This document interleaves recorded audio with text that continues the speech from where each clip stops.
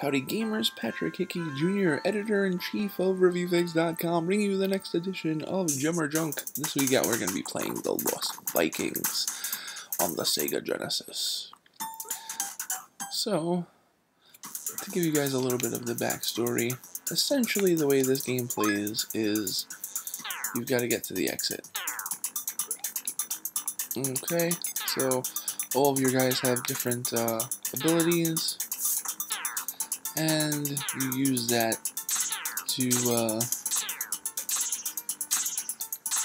there you go, you use that to get through all of the puzzles. So we've got all three, there we go. so it's got a cute little story, you get the apple for every level, find out what's going on. I don't know what's going on here. So we're going to need a different character. Here's the exit. Alright, so obviously this is not safe for this guy. Okay, so this is more of a place for this guy.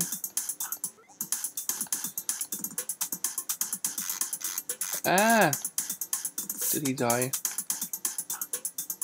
I think he did. Uh, Shit.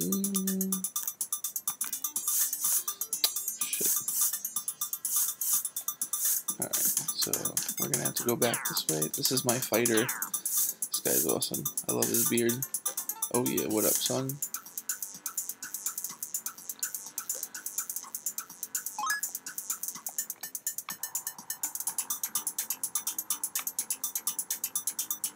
So all of your guys have to get to uh,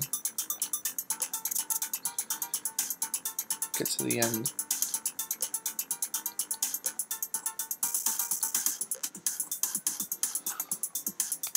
I don't know what the hell I'm doing over here. Alright, so there's no more enemies over here, so now... Well, I've got to be faster. Okay, so I've got some bombs now. There's some really interesting gameplay uh, elements going on here. oh, you can't fall. Okay.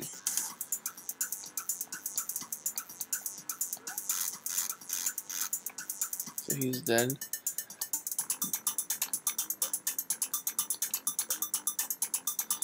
Okay, this is a weird level. Crap. And I'm dead. I didn't do that on purpose. So, despite only getting up to the second puzzle, I know the history of this game.